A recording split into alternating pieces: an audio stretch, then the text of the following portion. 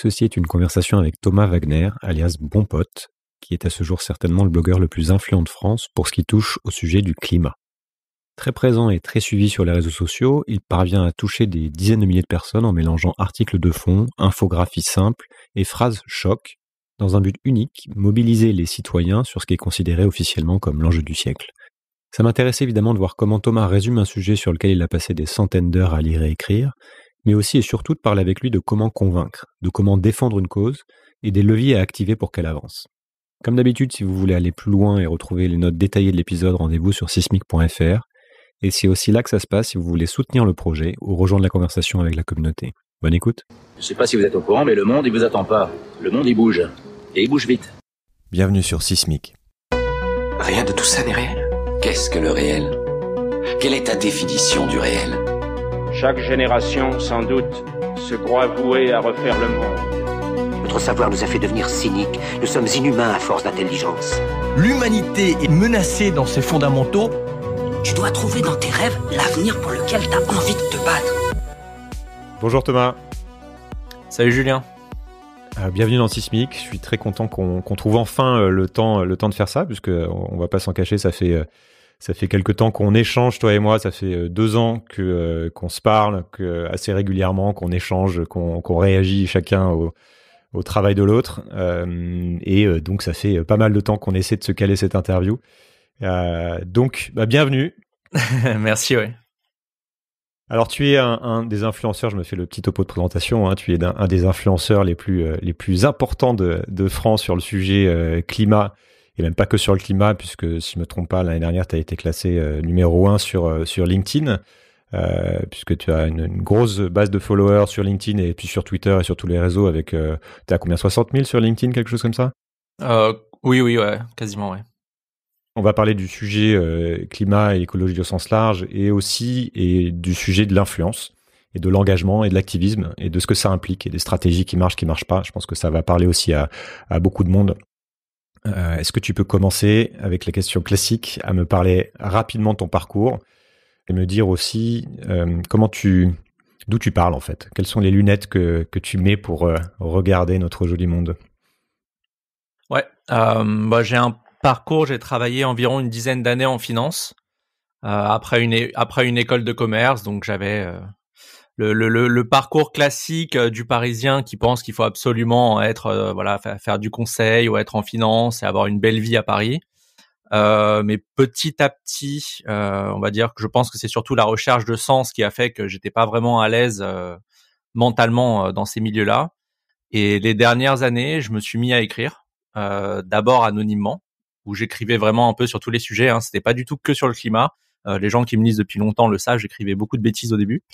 Et quand j'ai vraiment commencé à me rendre compte euh, de la gravité de la situation, j'ai axé mes articles euh, sur le climat. Donc, euh, je, je, je, parlais de tout, mais petit à petit vraiment euh, sur le climat, tout en essayant de garder un ton sarcastique et un peu humoristique, parce que c'est tellement des sujets euh, qui peuvent parfois être très lourds que j'essaye un peu de euh, voilà d'apporter une sorte de, de nouvelle forme euh, sur le sujet. Je vais je vais me décrire plus simplement et je l'ai déjà fait dans un article. Je suis un branleur parisien. Donc un branleur parisien, c'est quelqu'un qui peut te faire une présentation PowerPoint. dans mon cas, typiquement, te parler de la du trading haute fréquence pendant une heure et demie, mais qui est pas foutu. tu l'emmènes en forêt, tu lui, tu lui demandes de te décrire les 10 arbres qu'il vient de voir, il sera infoutu de le faire. Donc en gros, c'est un, c'est un mec qui sert à peu près à rien. Donc voilà, je, je me présente un peu comme ça parfois. Et bah, comme tu le sais, j'ai quitté mon travail euh, il y a un peu plus d'un an euh, pour me consacrer à 100% sur Bon Pote. Je pense qu'on va, on va en reparler avec une logique, euh, c'est le refus de parvenir. Donc ça, c'est ce que décrit très bien Corinne Morel Darleux dans un de ses livres c'est la, enfin, le fait de pouvoir réussir. Donc après, il faut définir la réussite, mais pouvoir réussir sans écraser les autres. Donc ça veut dire, tu peux avoir de l'ambition, mais t'es pas obligé d'écraser les autres. Et c'est un peu, euh, voilà, c'est un peu comme ça que je vis euh, depuis quelques années. Et puis tu as énormément de contenu, tu fait j'enverrai aussi vers, vers certains de tes articles, puisqu'on va effectivement, euh, c'est aussi ton idée, c'est de construire une base de, euh, de références en fait sur plein de sujets. Donc ça, tes, contenus s'enrichissent et donc tu as aussi des contenus sur, sur ton parcours, sur euh, quel est ton point de vue aussi par rapport à la notion d'utilité dont tu viens de parler, la notion de, de réussite, c'est des sujets sur lesquels tu réfléchis. Quel est ton objectif en fait avec, avec ce blog tel qu'il est aujourd'hui par rapport à ce qu'il est devenu? Donc tu as un objectif personnel, mais au-delà de ça, quel est le but que tu souhaites atteindre? Est-ce qu'il y, en a un d'ailleurs que tu te donnes ou est-ce que ça évolue comme ça en même temps que toi tu évolues? Euh, Cette question, j'ai un peu du mal à y répondre, mais pour y, répondre un peu simplement, c'est d'arrêter le changement climatique. Euh, donc l'objectif, il est pas facile, il est lointain, mais j'ai ça comme objectif. Enfin, je suis vraiment le type de personne à qui plusieurs fois dans la vie, on a dit euh, non, on n'essaye pas ça parce que c'est impossible. Et en général, j'ai tout fait euh, pour que ça le devienne. Donc j'aime bien les challenges. Euh, Celui-là, euh, on sait qu'il y a des gens qui essayent euh, depuis 30 ans un peu d'inverser la tendance et qui n'y arrivent pas forcément. On, on va sûrement discuter de, du pourquoi. Ouais, bien sûr. donc moi, ça me va en fait. Ça me ça me prend au trip. je m'ennuie jamais parce que intellectuellement, c'est tellement prenant et j'ai la chance maintenant de discuter avec des scientifiques tous les jours, des activistes, des gens qui sont encore en entreprise, qui essayent de faire bouger les choses de l'intérieur. Donc ça ne s'arrête jamais. Euh, L'un de mes buts secrets, c'est que Nabila devienne écolo. Euh, je dis toujours ça en plaisantant, mais en fait, je le pense vraiment. Euh, parce que j'estime qu'en fait, qu'à partir du moment où Nabila est devenue écolo, c'est qu'on a gagné une, on a, on a gagné la moitié du chemin. Quoi. On a fait, pardon, la moitié du chemin. Euh, puisqu'elle aura un intérêt à devenir écolo et à réduire la consommation, etc. Et c'est un peu, c'est un peu, c'est un peu ce que je pousse. Ouais, tu disais, je crois, euh, dans un tweet ou un article, en, en, gros, tant que tout le monde n'avait pas lu le, le, rapport du GIEC, tu t'arrêterais pas. On va reparler aussi du ton, parce que tu as trouvé un ton qui, qui, plaît, qui est intéressant, justement, avec un côté un peu humoristique, un peu où tu surfes aussi sur l'actualité. Qu'est-ce que euh, je voudrais revenir un petit peu un petit peu sur ton parcours personnel, peut-être en introduction. Mais quel a été euh, Est-ce que tu as eu un déclic en fait? Qu'est-ce qui fait que parce que c'est pareil, moi je parle à pas mal de gens, comme tu imagines dans la communauté, qui sont dans une réflexion euh, personnelle par rapport à ces sujets, notamment une fois qu'il y a une prise de conscience qui arrive. La question du, du travail revient souvent. Toi, qu'est-ce que qu'est-ce qui t'a qu'est-ce qui a fait qu'à un moment donné, tu euh, es rentré sur ces sujets et tu as tu as décidé vraiment de, changer un certain nombre de tes comportements, à commencer par ton job? Bon, ça a vraiment été progressif. Euh, ça vient pas de il y a deux ans, j'ai eu un énorme déclic. Ça a été euh, progressif. J'ai déjà un cadre familial qui fait que j'aurais pu être euh, un peu plus même écolo euh, avant. Mais ça a vraiment été progressif et je pense que c'est la recherche de sens qui manquait le plus. J'avais un travail confortable. Mon dernier, mon dernier travail, c'est ce que j'ai dit dans ma lettre de coming out écologique entre parenthèses. Euh, j'avais des collègues sympas, un salaire euh, convenable qui me permettait de, de vivre euh, vraiment bien. Euh, j'avais pas vraiment à me plaindre. En revanche, la, le manque de sens, c'est-à-dire que le temps que je passais toute la journée à travailler, je trouvais que ça n'avait pas vraiment d'utilité sociale. Donc, euh, et moi, enfin, c'est pas que je m'ennuyais. Il y a toujours le, c'était intellectuellement, c'était intéressant, mais je préfère passer mon temps à aider les autres. Et une fois que tu te rends compte du mur climatique qu'on a devant nous, bah, je préférais allouer mon temps à ça. Donc c'est un, c'est un choix personnel. C'est aussi, enfin quelque part assez, assez égoïste. C'est-à-dire que moi maintenant, quand je me lève le matin, déjà avant, bon, ça va, ma vie, ma vie n'était pas nulle, hein, mais quand je me lève le matin aujourd'hui, je sais pourquoi je le fais. Et en plus, maintenant, j'ai la chance d'avoir des gens qui m'écrivent tous les jours euh, pour me remercier pour mon travail, etc. Donc évidemment, évidemment que ça te motive. Hmm. On va passer un peu de temps sur, euh, on va commencer par le diagnostic. Hein, c'est souvent par ça que je, commence. J'essaie euh, de, de, commencer par le premier niveau et après on va regarder un peu ce qu'il y a en dessous. Et notamment parce que c'est ce que tu fais peut-être de mieux en fait. Tu passes, tu passes tout ton temps à enquêter un peu sur ces sujets-là et à poser un diagnostic le plus fourni possible. Je voudrais qu'on parle de ta méthode d'analyse et sur la manière dont tu travailles. Euh, donc puisque je sais que tu essaies le plus possible d'avoir une pensée large, rigoureuse et que bah, donc ça m'intéresse comme tu t'en doutes. Donc c'est, tu parles essentiellement de réchauffement climatique. Tu veux vulgariser donc ce qui est euh, un sujet très très large et peut-être un des sujets les plus complexes aujourd'hui, en, tirant tous les fils, en ouvrant tous les tiroirs. Et donc sur chaque sujet, tu fais un article, tu problématises, tu creuses, tu sources, etc. Et donc tu pars, tu, tu arrives à parler d'autre chose que du climat d'ailleurs. À quoi ça ressemble aujourd'hui dans ta tête? Cette, cette espèce de mind map, de, carte géante avec tous ces tiroirs, tous ces morceaux. Est-ce que tu as une manière de décrire ça simplement ou au moins de parler de, comment tu abordes le sujet? Alors, oui, pour le décrire simplement, j'aime bien reprendre une sorte de métaphore de, il y a l'humanité en ce moment, elle est dans une voiture sur l'autoroute et en gros on a deux solutions. Euh, soit on prend, on, en sort et on prend la petite route de campagne sympa où il y a encore un peu de nature, un, peu de vie, etc. Soit on reste sur sur l'autoroute, on appuie sur l'accélérateur et on fonce tout droit dans le mur. C'est le résumé trivialement, mais c'est à peu près les solutions qu'on a en ce moment. Et en ce moment, on est en train d'appuyer sur l'accélérateur. Donc moi, mon but là et mon travail, c'est qu'on lâche l'accélérateur et qu'on regarde où est-ce qu'on peut sortir de l'autoroute. Voilà, c'est à peu près, c'est à peu près la logique. Pour revenir sur la façon de travailler, effectivement, euh, j'ai écrit un, article qui s'appelle le j'ai tout comprisme. Donc mon but, c'est un peu d'éviter ça. Ça veut dire ne pas croire qu'une fois que vous avez lu un article sur le climat, vous avez tout compris. Ou même euh, regardez euh, trois vidéos sur YouTube et vous dites putain mais j'ai tout compris et j'ai la solution. Non, en fait ça marche pas du tout comme ça, je m'en rends compte. J'ai même pu avoir ce sentiment au début de me dire tu sais les six premiers mois quand tu découvres ces sujets, tu dis ah mais c'est bon, oh là là, c'est c'est la merde, il faut absolument agir etc.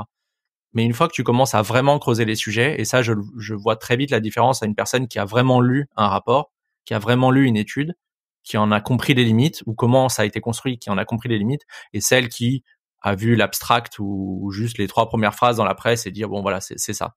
Euh, j'ai travaillé toute l'année là avec des scientifiques. J'ai eu un partenariat avec le CNRS, donc je suis un, influenceur mais qui n'accepte que de travailler avec le CNRS. Donc je, je suis voilà. J'ai enfin chic, c'est chic. Oui, oui voilà. J'ai reçu un partenariat dans la semaine là pour un SUV hybride. Je suis pas sûr qu'il y en ait qui aient compris euh, ce que je faisais comme travail, mais bon.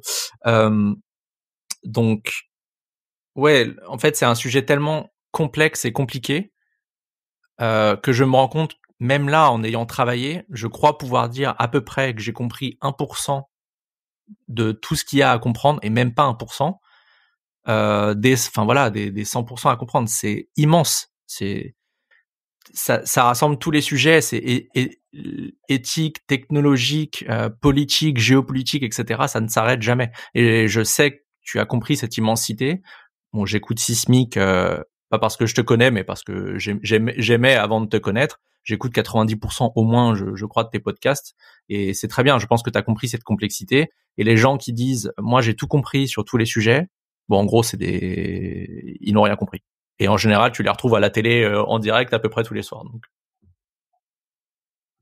C'est aussi euh, parce qu'en fait c'est civilisationnel, hein, c'est ce que j'essaie de décrire, c'est de montrer justement qu'il faut prendre du prendre du recul par rapport à tout ça, mais c'est aussi la, la, complexité du sujet qui fait qu'on continue d'accélérer comme tu le comme tu le dis et qu'on n'arrive pas à savoir en fait ce qui pourrait faire euh, arrêter la voiture. Donc je, je connaissais euh, pendant cette heure là qu'on va se donner d'aller de creuser par là-dessus et de voir en tout cas ce que où t'en es de ta compréhension de cette complexité. Donc il y a, il y a plusieurs niveaux d'analyse quand on essaie de poser un diagnostic. Il y a l'observation des phénomènes hein, pour comprendre ce qui est en train de se passer.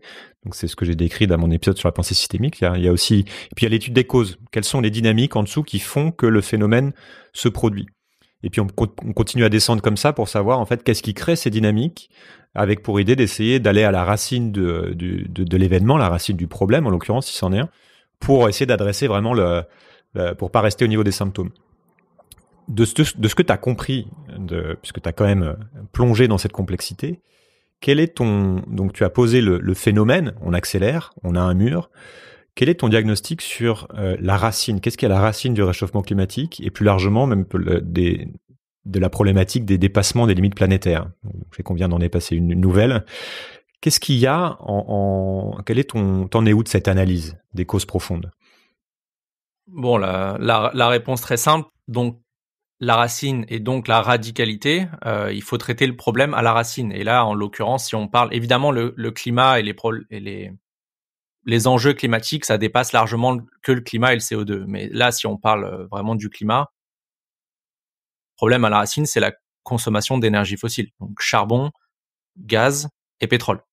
Euh, ensuite, on peut parler de qui consomme, qui consomme plus que les autres, euh, qui tient un peu plus les manettes que les autres, etc.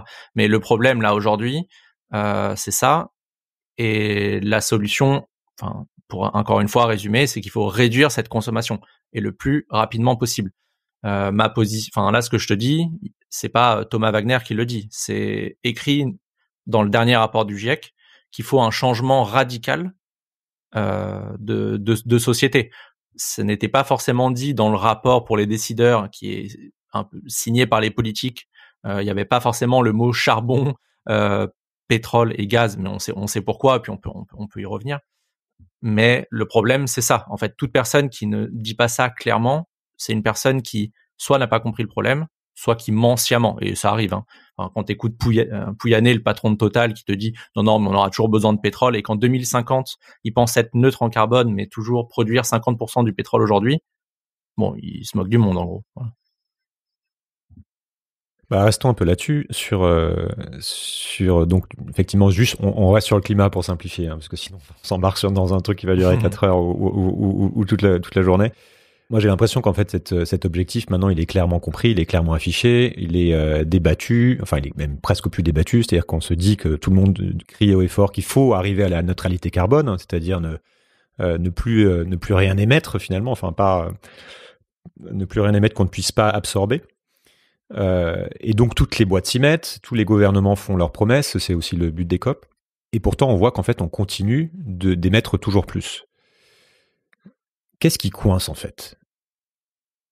Quels sont les principaux verrous qui fait que malgré toutes ces grandes déclarations, on ne voit pas euh, de choses se concrétiser? Tu as, tu as reçu euh, Richard Enberg là, sur, sur, ton, podcast. Euh, J'ai pas lu son livre qu'il faudrait que je lise. Euh, pour moi, tout, voilà, tout est power, donc c'est tout est une question de pouvoir. C'est tout est politique et tout est une question de pouvoir. Donc à partir du moment où il y a des hommes, parce que c'est principalement des hommes aux manettes qui ne qui ne veulent pas lâcher, une bribe de pouvoir, euh, on ne résoudra pas le problème. Et tu le vois dans les débats, etc. Dès que tu parles de peut-être réduire notre consommation énergétique, alors qu'il y a des co-bénéfices à ça. Euh, tu peux être moins dépendant. Typiquement, je vais reprendre l'exemple de la France et de l'Allemagne. S'ils réduisent leur consommation en gaz, tu es moins dépendant des Russes, instantanément. C'est de la géopolitique, voilà. Euh, il y a des avantages à ça. Il y a des avantages à s'adapter, il y a des avantages à réduire nos émissions, etc. Mais le discours de l'inaction climatique habituelle et des entreprises et des, et des politiques qui sont d'ailleurs au pouvoir là en ce moment, euh, ils te disent ouais mais si on fait ça les autres vont nous bouffer mais en fait euh, ça ça marche pas comme ça euh, ça marche pas pardon ça marche pas forcément comme ça. Donc ça c'est plutôt le discours ambiant. Mais il faut vraiment voir le prisme euh, du changement climatique par le prisme politique. C'est avant tout une question politique et avant tout une question morale. Et la politique c'est du pouvoir. Donc si tu prends les choses par ce prisme là tu peux bien comprendre et continuer à lire sur le sujet. Euh, enfin, je, pense à plein d'actions euh, qui sont très bien là pour expliquer les problèmes. C'est ce que j'essaye de faire, de vulgariser les problèmes. Mais tant que tu ne précises pas ou n'ajoutes pas à cela que c'est maintenant la décision est politique, bah tu peux pas avancer. On va, on va passer plus de temps justement sur, euh, sur ce que ça veut dire concrètement et quelles, quelles pourraient être les propositions intéressantes. Et, je voudrais qu'on reste un petit peu justement sur ce diagnostic tu as parlé de neutralité carbone. Qu'est-ce que tu penses de cette, de ces, de la manière dont cette neutralité carbone est aujourd'hui euh, traitée, dont elle est abordée, et euh, du fait que dans le GIEC et nulle part ailleurs, on, on parle de, des objectifs de croissance ou de décroissance par rapport à ces objectifs de décroissance des émissions. Donc je parle de croissance économique. Tu peux aller sur, euh, sur ce terrain justement de euh, neutralité carbone, de découplage, pour euh, me dire ce que tu en as compris et à quel point c'est central dans, bah, dans la compréhension, dans, dans, le sujet et dans le fait aussi, et pourquoi on n'en parle pas en fait, et pourquoi ce ne sont pas des choses qui ressortent dans le débat public. Euh, oh, oh t'as as abordé plusieurs points. Alors pourquoi on n'en parle pas? Peut-être qu'on pourra parler du film Don't Look Up un peu plus tard, mais pourquoi on n'en parle pas? Parce que les sujets en ce moment, je sais que t'es pas en France, mais en France, alors qu'on devrait, enfin là on vient de franchir une cinquième euh, limite planétaire, on est en train de parler de Zemmour et de Blanquet à Ibiza. Le, sujet en ce moment c'est ça, hein, euh, depuis 48 heures, donc euh, voilà, on en, reparlera je pense. pour le GIEC, il y a trois groupes de travail. Donc il y en a un qui parle de la physique, Le deuxième, il parle plutôt de l'adaptation. Et trois, des solutions à mettre donc de la mitigation, de l'atténuation des, émissions, et qui eux vont euh, parler des potentielles solutions. Donc eux ne recommandent rien, mais ils disent voilà les différents chemins euh, qu'on peut emprunter. Pour revenir sur la neutralité carbone, euh, c'est quelque chose qui est beaucoup discuté, qui est une nécessité là pour euh, stopper le réchauffement climatique. Le dernier rapport du GIEC nous dit, en gros, si vous arrêtez les émissions, si on atteint euh, la neutralité carbone, on stoppe le réchauffement. Je le dis trivialement, hein, c'est plus compliqué que ça, mais c'est à peu près ça. Donc c'est une, une urgence. On est déjà à 1.2 euh, entre 1.1 et 1.2 de réchauffement climatique planétaire il y a déjà euh, des 50 degrés au Canada là en 2021. Euh, on vient d'avoir là en Argentine un 49 degrés. Il y a des pertes agricoles, enfin ça se compte en milliards et donc des gens qui vont mourir de ça. Euh, le changement climatique est déjà là. Ça, juste pour préciser, ce j'ai encore entendu Hidalgo il y a deux jours dire si on n'agit pas maintenant en 2030, le changement climatique sera là. Non, non, mais Anne, tu n'as pas compris. Le changement climatique, il est déjà là. Euh, pour en revenir à la neutralité carbone, je pense que tu, toi tu le sais, mais je vais revenir un peu là-dessus. C'est une notion qui est intéressante et qui est récupérée à peu près comme toute entité qui fait partie d'un système capitalistique. C'est une notion qui est récupérée en ce moment par les entreprises et qui arrive à s'annoncer je serai neutre en carbone en, en 2030, en 2040, en 2050 et les États font pareil. Je te le dis tout de suite. À partir du moment où il n'y a pas un plan précis de savoir comment tu vas réduire tes émissions, c'est du greenwashing. Et 100% des annonces, je dis bien 100%, des annonces des États et des entreprises, ça fait trois ans que je suis dessus, hein, j'en vois tous les jours, c'est du greenwashing. N'y a pas une entreprise qui a dit on va être neutre en carbone ou on est déjà neutre en carbone, qui a expliqué comment, qui a, qui a pivoté son business model, qui a dit on va le changer pour vraiment avoir moins d'impact euh, et consommer moins de ressources. À chaque fois, c'est par de la c'est par de la compensation. Donc Total, je vais reprendre l'exemple de Total, parce que c'est le plus grand groupe français, donc les gens connaissent. Euh, ils seront neutres en carbone sur le périmètre européen en 2050. Donc c'est un miracle en fait. Les mecs produisent du pétrole et ensuite vendent du pétrole et du gaz, mais ils arrivent à, être neutres en carbone. Donc en gros, leur solution c'est soit on va absorber du carbone, euh, voilà, par du DAC, Direct Air Carbone, ou euh, capture, pardon, où euh, on va planter des arbres. Mais planter des arbres, ça a d'énormes limites. J'ai plein de papiers scientifiques pour appuyer ça. On a des retours d'expérience des gens qui effectivement avaient planté des arbres en Californie pour compenser leurs émissions, mais en fait ça a brûlé. Ça a brûlé. Donc je rigole. Ah, et en Inde, ouais, enfin non, c'est terrible, pardon. J'ai le sourire, mais c'est pareil, c'est terrible. En Inde, c'est pareil. Il y, a des retours d'expérience maintenant, ça a brûlé et ça va continuer à brûler puisque plus ça se réchauffe, euh, en gros, plus on a de chances d'avoir des méga feux et d'avoir des effets combinés. Donc canicule amène méga feu, amène ensuite inondation. C'est ce qui s'est passé en Canada. Il a fait 50 degrés. Quelques jours plus tard, le village euh, Lytton a brûlé et ils, viennent de se taper des inondations quelques mois plus tard. En fait, tout est lié. Et on est à un réchauffement de 1.2. Donc, tu peux pas compter sur le fait de planter des arbres parce que le risque d'avoir des méga feux et que les arbres brûlent, est en train d'augmenter partout sur la planète. Et c'est ce qui se passe en Amazonie. Hein. L'Amazonie qui est en train de devenir une savane, euh, je tiens à le préciser, voilà, pour la bonne nouvelle du matin. Si j'essaie de reposer un peu le, diagnostic, donc on a, on a une urgence absolue sur laquelle on se ment plus vraiment, en fait. Il y a encore beaucoup de gens qui sont pas au courant, hein, je pense évidemment. Il y a encore beaucoup de mhm. gens qui sont dans le déni. Il faut pas non plus négliger le nombre de, euh, de climato-sceptiques euh, qui existent. Donc il y a encore un débat à ce sujet-là. Donc pour reprendre la, le, le Don't Look Up, c'est est-ce que euh, finalement ce météoriste, euh, ce météorite qui arrive existe bien? Est-ce qu'on nous ment pas? Est-ce qu'on peut faire confiance aux scientifiques? Un sujet, euh, un sujet de la confiance qu'on pourra aborder. Mais bon, partons du principe que qu'il y a une, quand même une communauté internationale qui s'est mis d'accord sur le fait que c'était une urgence et on voit les unes de magazines comme Time Magazine l'année dernière qui qui a titré Climate is everything, donc le climat c'est tout. Donc il y a une compréhension même dans la presse mainstream. Il y a énormément de choses qui se passent, il y a énormément de mouvements en fait, il y a énormément de promesses et de déclarations. Et donc tout ce que ce que ce que tu en vois, c'est que de, dans les faits, on continue de se leurrer euh, en, en, proposant, en faisant des promesses en l'air, ou alors en comptant sur une innovation qui n'est pas encore là, comme les, les notamment la capture carbone, et ou en faisant des mauvais calculs. Et c'est notamment un, un, chiffre qui a été évoqué par Cécile Renoir, qui était mon invitée précédente, qui nous dit qu'en gros, si on doit mettre en place le le plan transition énergétique 2030 en France, ça voudrait dire qu'on consomme, j'ai plus, plus le chiffre en tête, mais entre 20 et 30% du cuivre du monde. Donc on voit que quand on fait les calculs, il y a un truc qui ne, qui ne colle pas. Euh, on va revenir sur le, le, pourquoi, euh, pourquoi en fait on continue de, d'adresser, euh, d'adresser ce sujet-là de cette manière, mais je, je, voudrais qu'on parle justement, qu'on revienne sur cette idée de, de, croissance et de décroissance, puisque moi ça me semble être à la, à la source de, de beaucoup de choses, puisqu'en fait, et tu vas me dire si tu es d'accord et tu pourras le développer, j'ai le sentiment qu'en fait, on n'arrive pas à sortir de, euh, de ce truc qui tourne en boucle parce qu'on ne pose pas l'hypothèse que euh, on ne peut pas y arriver en faisant, en continuant de faire de la croissance économique. Est-ce que toi, c'est, euh, tu partages ce diagnostic? Je crois que oui. Et du coup, comment tu te positionnes cette, sur cette idée de décroissance? Alors, tu as entièrement raison. En fait, le sujet n'est pas amené sur la table. On ne voit là pour l'instant le prisme, euh, pour reprendre.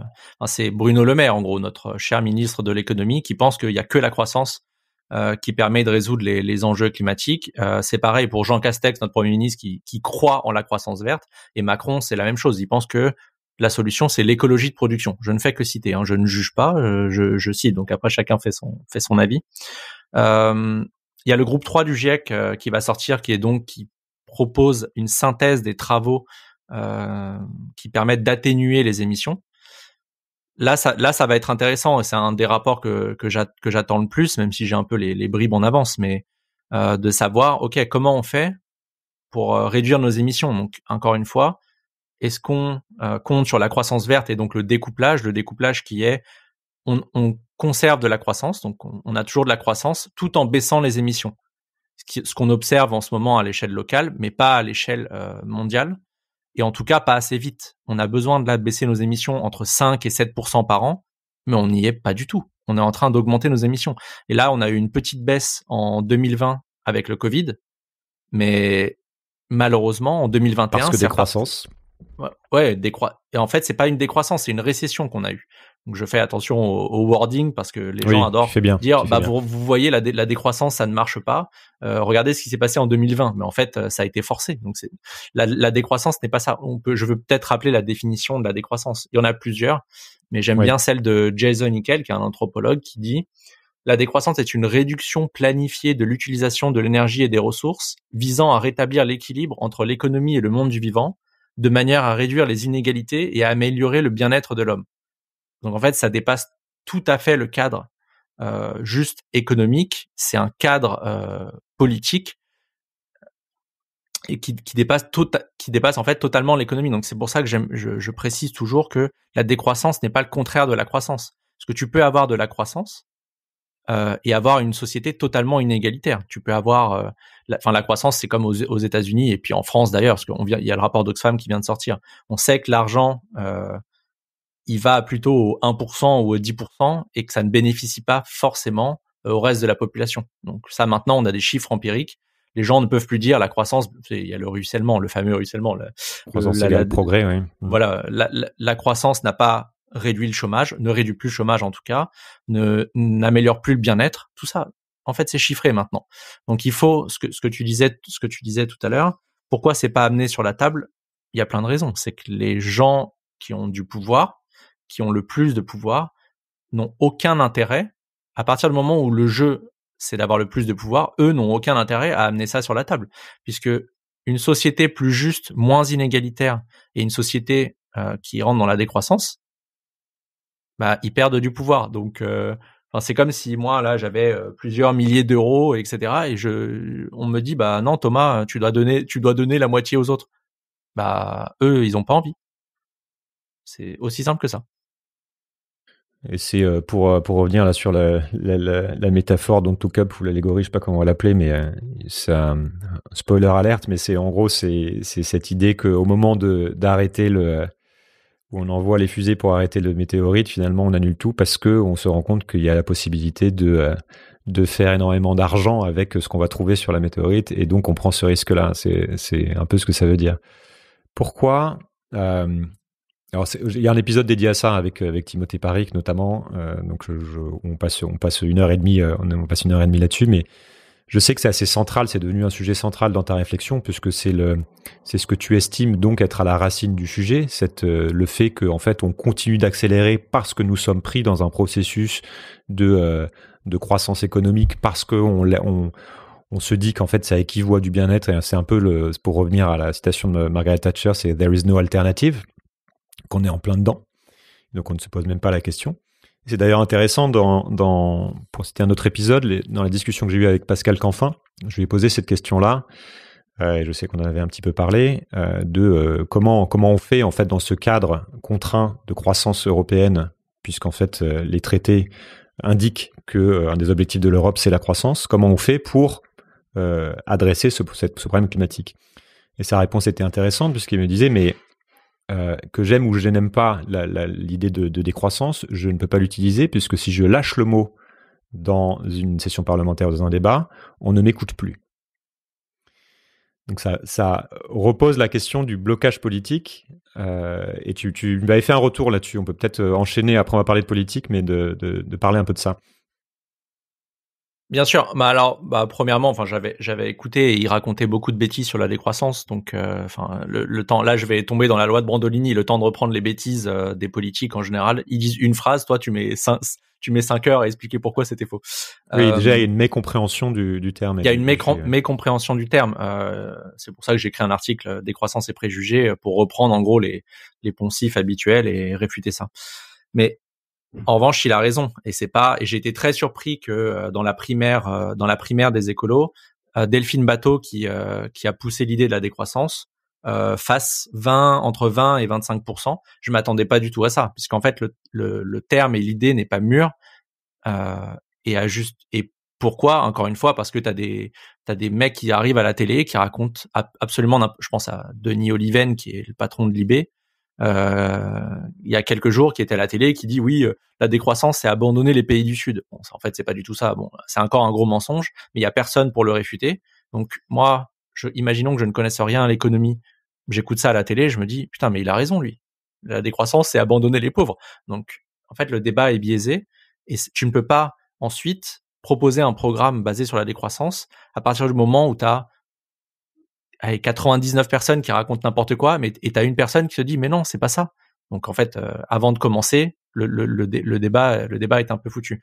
Et je pense qu'aujourd'hui, euh, les, les, les, là, là tout de suite, si tu parles de décroissance, ça fera peur à une majorité de Français. Donc là, je viens d'expliquer pourquoi. En revanche, je pense que les Français ne sont pas bêtes, et je pense que d'ailleurs personne n'est bête euh, au point de ne pas comprendre, euh, en tout cas, ces bases économiques il y a un très bon exemple de ça, c'est la Convention citoyenne pour le climat. C'est des gens qui, à première vue, ne connaissent, n'étaient pas forcément formés sur le climat, etc. Bah, une fois qu'ils ont compris le problème, expliqué aussi par des experts, bah, ils se sont mis à travailler, à travailler sur le sujet et à faire des propositions, et des propositions qui étaient plus ambitieuses que ce que notre gouvernement actuel, on a beau l'appeler le climate champion, mais Macron c'est un assassin, hein, faut, faut être très clair là-dessus.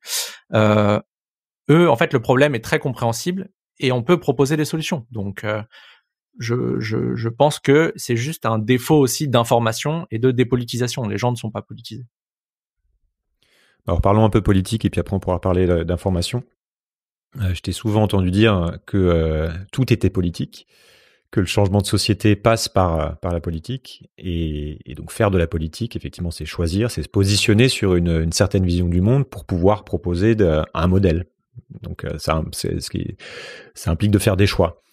Comment tu abordes, toi, cette, euh, la question politique au sens large par rapport notamment à la posture du, colibri qui fait sa part dans son coin?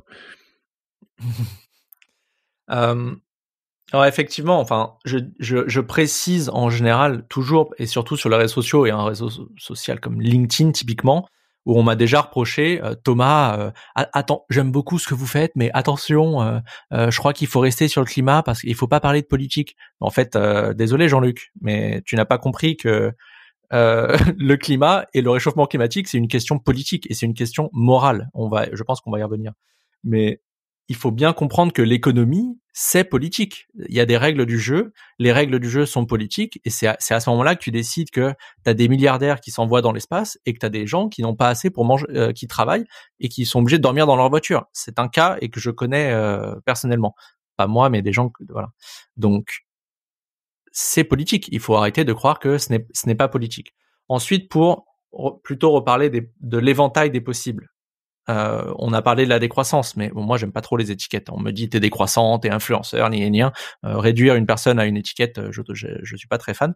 Mais j'ai regardé un peu l'éventail des possibles. Je me suis dit bon, c'est la merde. C'est quoi les solutions?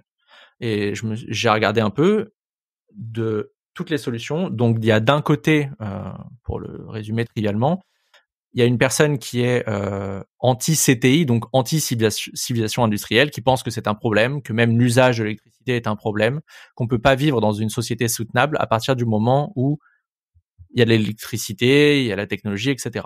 Très bien. Il y, a, il y a ça en fait qui est, on va dire, tout à gauche et tout à droite.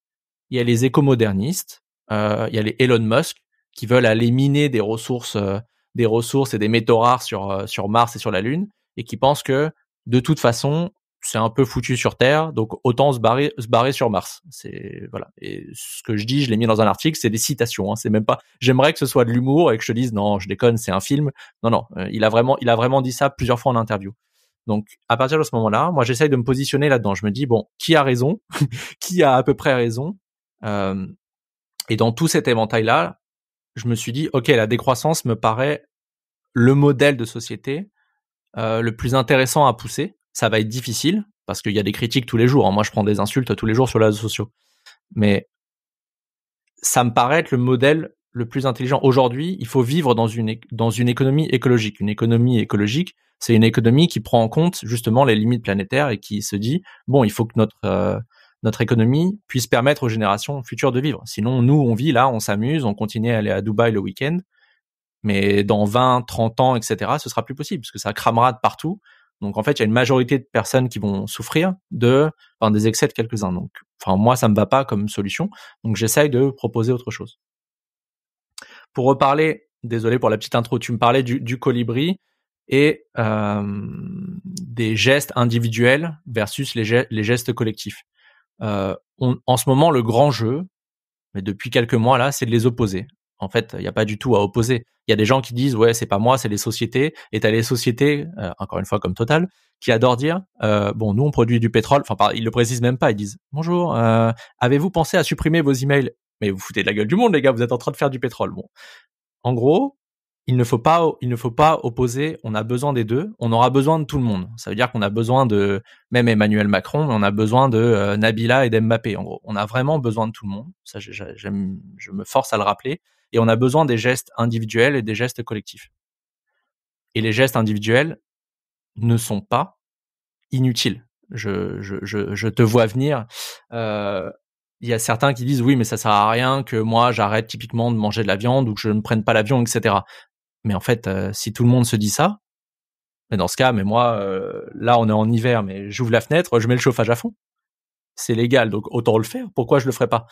Bah, je le fais pas aussi parce que ce qu'on disait tout à l'heure, c'est une question morale.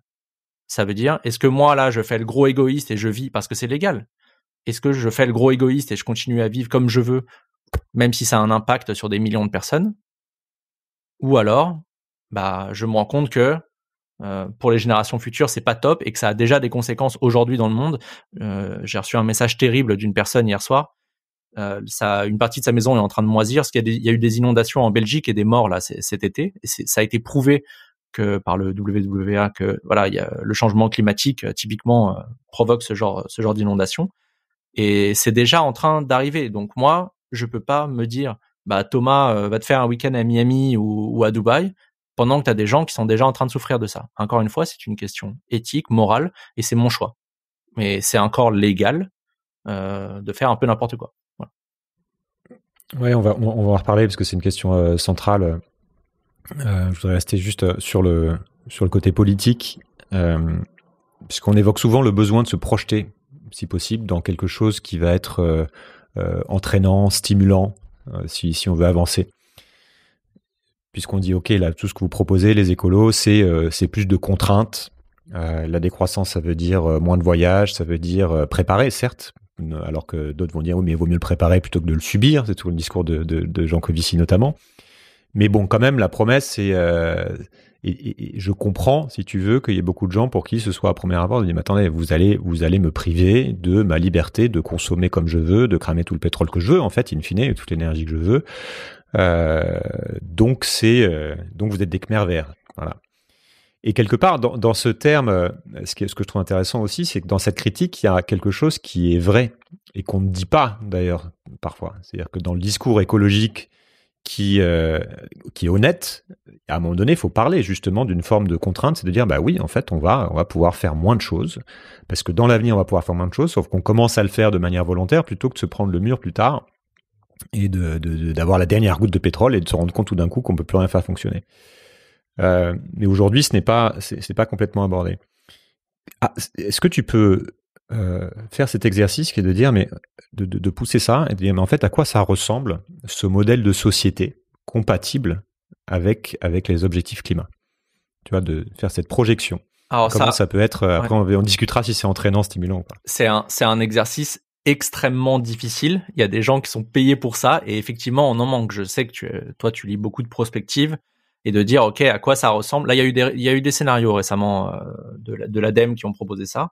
Euh, mais effectivement, on en manque. Je vais juste revenir sur les points et c'est très intéressant ce que tu dis parce que on a entendu, il y a plusieurs politiques et surtout les politiques de droite euh, et d'extrême droite qui parlent d'écologie punitive. Et fait, je, je te rejoins totalement là-dessus. Il faut dire la vérité et on l'a pas. Aucun politique le dit d'ailleurs, hein, euh, ni sur la voiture individuelle qui va falloir de façon euh, voilà systémique réduire. Euh, la viande, c'est pareil. L'avion, c'est pareil. Il faut dire la vérité. À partir du moment où tu as des politiques qui te disent pas qu'il faut un peu réduire la, voilure, et on verra plus tard pour les innovations, peut-être qu'il y aura effectivement l'avion vert. Bon, voilà. Mais pour l'instant, en tout cas, c'est pas le cas. Donc là, là tout de suite, il faut réduire. Mais ayant un, un vrai discours de vérité, euh, quand on entend parler d'écologie punitive, je pense que les gens qui parlent comme ça, ou alors c'est par intérêt politique, mais les gens qui évoquent cela, c'est qu'ils ne se rendent pas compte des conséquences. Donc, c'est une privation de liberté, là, sur le court terme, peut-être, mais le gain, c'est d'éviter qu'il fasse 50 degrés dans ta ville et que la canicule, elle dure pas 3 ou 4 jours comme c'est le cas actuellement, mais qu'elle dure 20 jours. Ce que je te dis, c'est écrit noir sur blanc dans le rapport du GIEC. Je ne sais pas si tu te rends compte d'une canicule avec des pointes de chaleur à 50 degrés et une canicule qui peut durer jusqu'à 20 jours.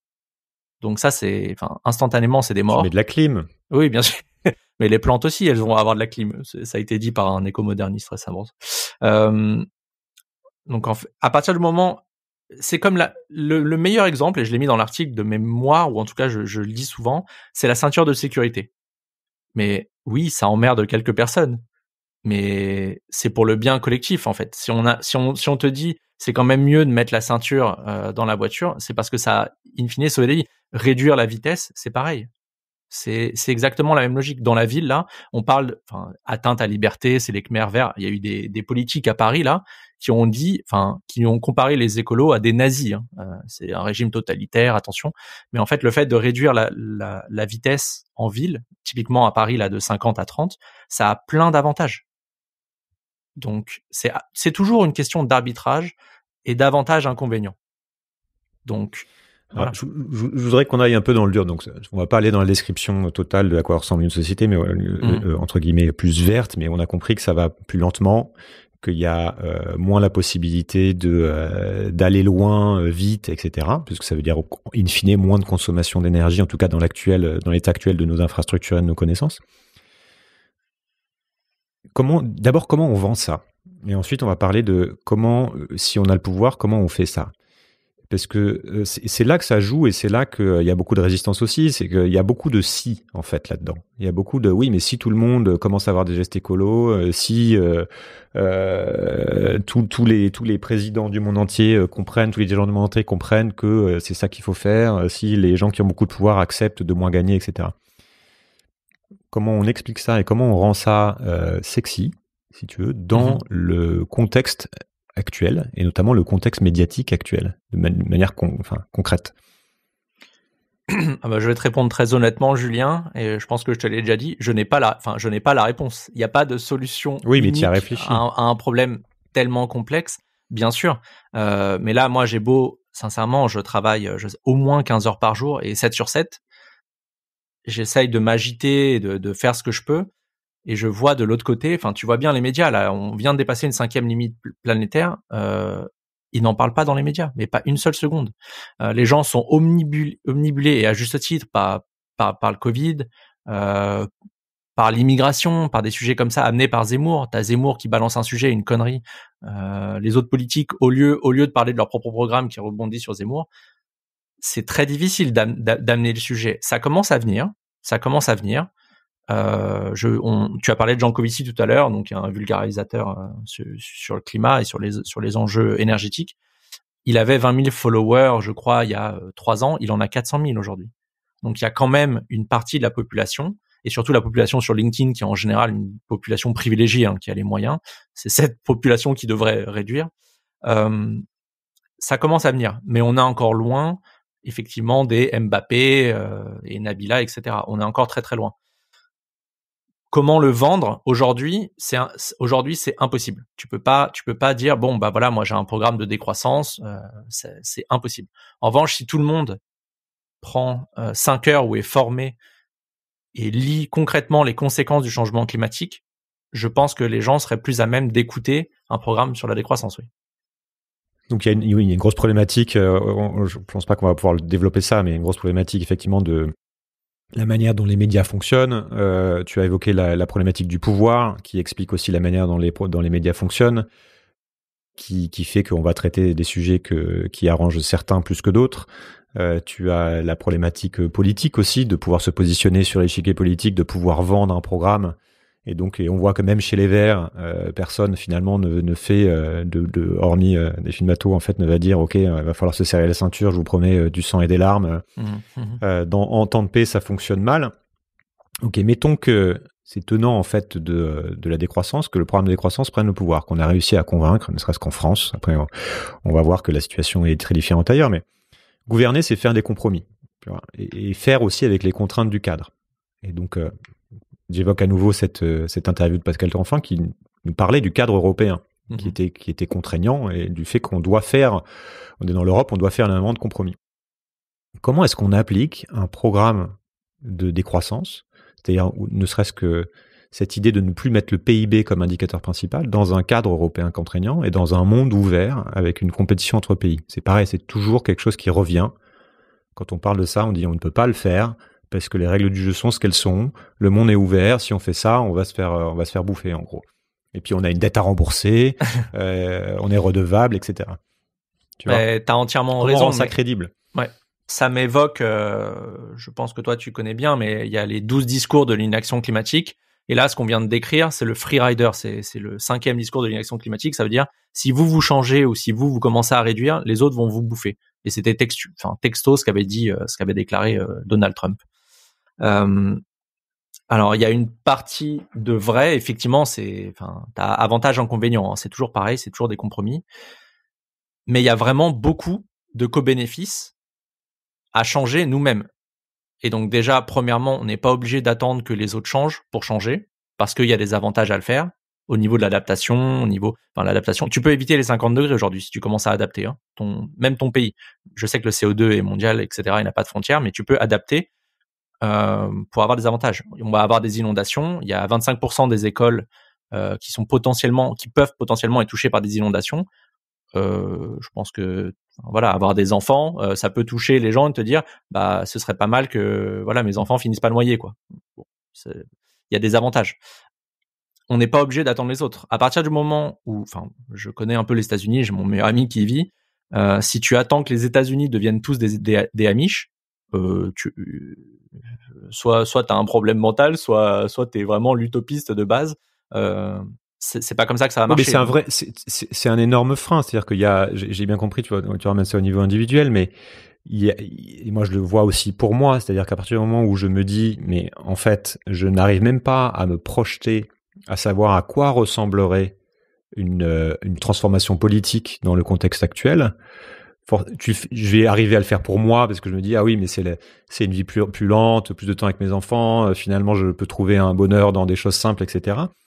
Mais tu, tu vois ce que je veux dire, c'est-à-dire que ça ne ça ne pousse pas justement à faire de la politique parce que je ne sais pas quel est le programme, si tu veux. Comment on fait ça dans un cadre tel qu'il est aujourd'hui?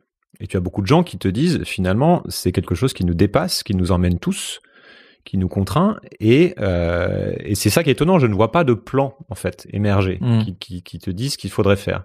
Je sais pas si tu as vu passer des choses ou que tu vois Euh, vraiment des oui, pistes oui, bien sûr. Euh, non, mais en fait, tu as totalement raison. Non, mais c'est ultra complexe. Et moi, ce que je souhaite, c'est qu'en fait, tout le monde soit en train de réfléchir à ça. Là, aujourd'hui, enfin, moi, je vois parmi mes, même mes meilleurs amis, les, les 10, 10 personnes que je vois le plus, je suis à peu près le seul, où on est, allez, on est deux, dans, dans le lot à réfléchir vraiment à ces problématiques. Les autres, hein, tu sais, ils font, enfin, comme moi avant, ils travaillent de 8, 8 9 heures à quasiment 20 heures. Maintenant, il y en a certains qui ont des enfants. Ils n'ont pas le temps de se préoccuper de ça. Et quand, ça- et quand ça va arriver et qu'il y a des gens dans la rue qui sont en train de manifester, ils comprennent même pas pourquoi. Ils sont dépolitisés euh, 100% et ils comprennent pas. Donc en fait, l'enjeu, c'est que tout le monde soit en train de discuter de ces problématiques. Une fois qu'on aura plus de cerveaux euh, et de, de personnes qui réfléchiront à ces problèmes-là et qui auront compris qu'ils prendront du temps pour comprendre les problèmes parce qu'il faut prendre le temps. Si tu prends pas le temps, tu comprends rien. Euh, on aura plus de chances déjà d'y répondre. Euh, c'est, vraiment et je, enfin, je, te rejoins, c'est ultra compliqué. Euh, c'est très très rare. Moi, je le vois autour de moi. J'ai dû travailler avec des scientifiques extraordinaires. Ils sont intelligents, c'est incroyable. Mais quand je leur parle des rouages politiques et de dire non mais lui, lui, lui, enfin ty- typiquement de Jay Barry, euh, lui c'est un lobbyiste de l'aviation. Il est ministre des Transports, 31% des émissions en France. Le, le, le mec qui parle de l'avion vert en permanence. Euh, et vraiment, c'est une catastrophe son action au gouvernement. Il, il, il n'était pas au courant. Donc en fait, si tu ne comprends pas les rouages politiques et autre chose, j'ai discuté avec euh, Greg, euh, un- une autre personne qui fait des podcasts que tu connais bien.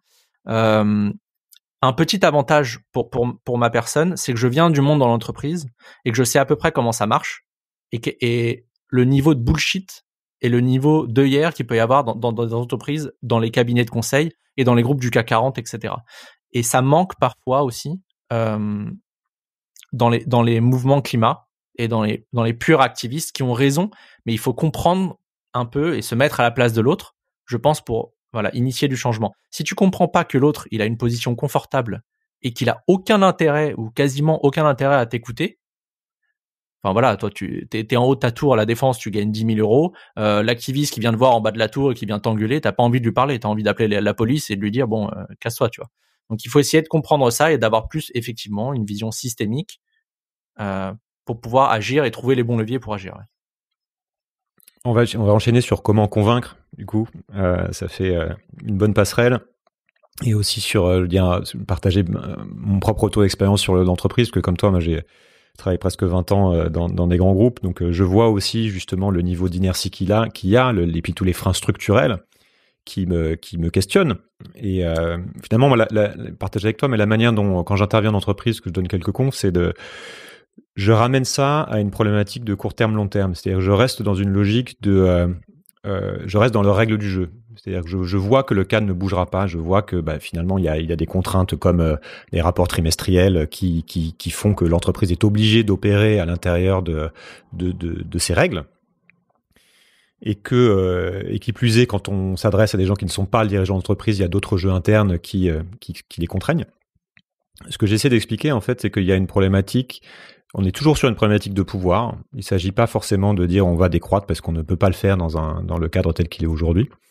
Mais par contre, c'est te dire que faire une bonne stratégie, c'est euh, c'est penser le long terme et se dire que on va mieux regarder l'évolution du contexte pour pouvoir être en bonne position demain. Et je trouve que c'est un discours qui est intéressant parce que ça ne, et même au niveau d'un pays, en fait, c'est de se dire, OK, on va faire peut-être des sacrifices aujourd'hui, vous parlez de la compétition internationale, du, fait que finalement on peut pas lâcher, que on va se faire bouffer si on arrête. C'est plutôt de, penser dans un autre cadre de temps et de dire ok il y a des sacrifices à faire aujourd'hui, il y a des il y a des choses à mettre en place aujourd'hui qui vont faire perdre de l'argent, qui vont euh, euh, qui vont impacter euh, le bénéfice ou qui vont impacter le budget de l'État, mais qui font que vous serez dans une meilleure position demain. Et du coup, il y a moins de résistance parce qu'on est dans un discours qui, qui est entendable, en fait. Et finalement, ça permet aussi d'enclencher une dynamique. Et l'autre chose que je dis souvent, désolé, je parle beaucoup, hein, mais c'est que il s'agit en fait, effectivement, qu'on n'a pas les réponses, mais qu'il s'agit de passer plus de temps à essayer de trouver quelles sont les bonnes questions. et de mettre en place les processus qui vont permettre vraiment de réinstaller de l'écoute, de réinstaller de, de l'empathie par rapport à ceux qui n'ont pas le même point de vue pour enclencher quelque chose. Ce qui m'amène à parler de, donc de cette problématique de comment convaincre. Je voudrais avoir ton retour parce que tu as, beaucoup réfléchi, puisque donc tu, tu, parles sur les réseaux, tu écris des articles, tu as trouvé un ton qui est hyper intéressant. Donc tes articles sont, euh, sont hyper denses avec euh, du fond et des faits. Et donc sur les réseaux, tu joues une autre carte qui est un peu plus celle du, aussi celle du clash, ou euh, même dans la manière dont tu parles, tu vois, de, de ministre, etc. Tu te positionnes clairement comme un, un activiste en faveur de, du climat et même parfois de la décroissance. Et tu t'es mis même récemment à faire ce qu'on appelle du name and shame, c'est-à-dire que tu, dénonces le greenwashing en pointant du doigt certains. Est-ce que tu peux m'expliquer cette stratégie et comment euh, comment elle évolue, comment elle est venue? Alors effectivement, c'est ma façon de travailler. Donc j'ai des articles de fond, je passe des dizaines d'heures sur chaque sujet. Ensuite je publie et ça me sert de base de, discussion. Et en général, j'essaye de toujours sourcer avec des sources scientifiques derrière. Donc ça, c'est la base de discussion. Pour revenir sur le clash et la stratégie du clash, euh, moi ça ne me plaît pas. Hein. J'ai vraiment autre chose à faire. Je, toi tu le sais dans le privé, mais moi mon but dans la vie c'est d'être au bord de la plage et de, lire un livre. Hein. C'est si je pouvais ne pas être sur les réseaux sociaux, je n'y serais pas. Euh, je serais en train de siroter un cocktail sur la plage au Brésil. Hein. C'est ça s'arrête là. Je, je, te l'ai déjà dit, mais c'est je le pense très sincèrement. En fait, je ne cherche pas le clash. Je réponds juste, parfois un peu sèchement à certaines personnes, mais ce que je présente va à l'encontre de la logique actuelle. Effectivement, j'ai parlé une folie. J'ai parlé de capitalisme sur LinkedIn. oh mais oh là là, mais tu les, les, réactions, oh, il y en a qui voulaient tuer toute ma famille. C'était, mais lui, c'est inadmissible. Tu sais, je suis sûr qu'ils ont report mon poste. Attention, il parle de capitalisme sur LinkedIn. Lui, c'est un dangereux personnage. J'ai dû avoir ma fichesse depuis d'ailleurs. Enfin, euh, il y, a, y, a, y, a, des gens, évidemment, ça les dérange. Mais aujourd'hui, effectivement, un discours qui parle d'économie écologique et qui te dit bon, il faut juste un petit peu réduire pour éviter qu'il fasse 50 degrés dans ta ville et que ça brûle partout. Mais même ça, c'est trop. enfin, même ça, c'est trop. Parfois, je, j'apporte des sources scientifiques. Je dis, il faut, il faut un petit peu réduire le trafic aérien, notamment les personnes qui prennent l'avion en permanence parce que c'est elles qui émettent le plus. Mais je vois en commentaire, il y a Jean Michou qui dit c'est n'importe quoi, regardez ce lien et il m'envoie un lien défense de l'aérien.org. Putain, bon, déjà le mec me manque de respect et, je, me dis putain, mais c'est vraiment, on est à un niveau de, de, de, déni, ça va pas être facile. Donc ça, c'est pour répondre au clash. En fait, moi, ça m'amuse pas de, de, clasher les gens. J'essaie juste d'apporter des faits et, d'amener la discussion. Euh, après, effectivement, il y a des gens que ça, dérange, mais on n'aura pas de changement et de changement radical qui, encore une fois, est appelé par les scientifiques. Hein. Après, tu peux dire que les gens du GIEC sont des Khmer verts ou sont des, apprentis Staline. Ça, ça n'engage que toi et ça n'engage que eux. Mais on n'aura pas de changement, euh, pardon, de, changement, et on n'arrivera pas euh, à nos objectifs sans changement radical. Pour répondre au reste, là sur le sur le name and shame, effectivement, euh, j'ai commencé à appeler et à montrer du doigt, mais c'est pas montrer du doigt. En fait, le name and shame, il y a un cadre légal et de dire qu'ils ne respectent pas la loi. Hein. Il y a aussi dans la tête euh, des gens en général, et je l'ai appris moi-même d'ailleurs en travaillant le sujet, j'ai publié dessus. Le name and shame, je pensais que c'était montrer du doigt, etc. Non, non, le name and shame, c'est j'appelle déjà les entreprises à respecter la loi, parce qu'il y en a qui ne respectent pas la loi. Ça, c'est de base. Ensuite, il y a autre chose. Il y a quand tu dépasses, puisque effectivement le cadre légal en ce moment euh, actuel, pardon, en France et dans le monde hein, et dans, plein d'autres pays n'est pas bon et ne répond pas aux enjeux euh, des décennies à venir. Donc, il faut changer ce, ces lois et ces lois, elles changent parce que tu as une pression populaire.